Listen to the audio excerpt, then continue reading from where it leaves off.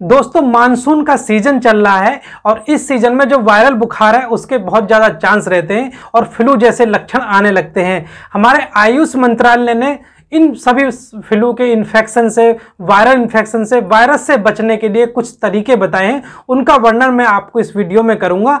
और बरसात के मौसम में जो फ्लू है, वो बहुत ज़्यादा आम हो जाता है।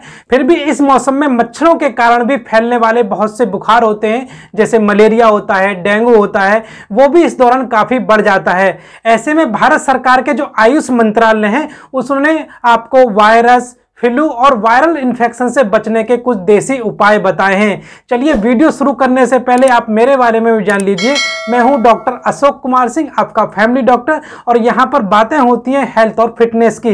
दोस्तों, आयुष मंत्रालय के अनुसार मानसून में जो होने वाली बीमारियाँ हैं, उनके प्रारंभिक लक्षण क्या क्या होते हैं, उसमें आपको खांसी होती है, जुकाम होता है, गले में खराश होती है और आपको छींके आ सकती हैं। ये मुख्य रूप से लक्षण होते हैं। यदि आपने खान पान में थोड़ा सा सुधार कर लिया तो आपकी रोग प्रतिरोधक क्षमता अच्छी हो सकती है। आमतौर पर गर्मी के मौसम में हल्दी वाला दूध नहीं पिया जाता है और हल्दी वाले दूध को गोल्डन मिल्क के नाम से भी जानते हैं। लेकिन जब से कोविड 19 का जो खतरा है हमारे ऊपर आया है तो गर्मी में भी इस गोल्डन मिल्क का प्रयोग बहुत ज़्यादा किया गया है। लेकिन इस बार गर्मी के साथ बरसात में भी काफ़ी कुछ बदलाव है। इसलिए गोल्डन मिल्क का प्रयोग हम बारिश में भी कर सकते हैं जिससे हमारे शरीर की जो रोग प्रतिरोधक क्षमता है वो अच्छी रहेगी। दोस्तों खांसी जुकाम और गले में दर्द से जुड़ी जो समस्या है इनसे बचने के लिए कम से कम रात को सोते समय हल्दी वाले दूध का सेवन ज़रूर से करना चाहिए। और ध्यान रहे एक गिलास दूध में लगभग वन फोर्थ चम्मच आप हल्दी मिलानी है कि आपको पूरी चम्मच भर के नहीं डालनी है।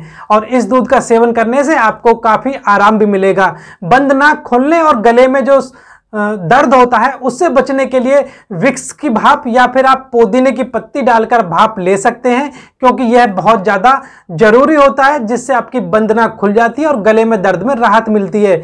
यदि आपके घर पर यह चीज़ ना हो तो आप असेंशियल ऑयल का भी इस्तेमाल कर सकते हैं। इसमें लौंग का तेल होता है टी ट्री ऑयल होता है लेमन ग्रास ऑयल का भी उपयोग आप भाप में कर सकते हैं। मौसमी फ्लू के क्या क्या लक्षण होते हैं, इसकी जानकारी भी आपको होनी चाहिए। मानसून में जो होने वाला जो फ्लू है, इसमें इसमें खास रूप से छह लक्षण होते हैं।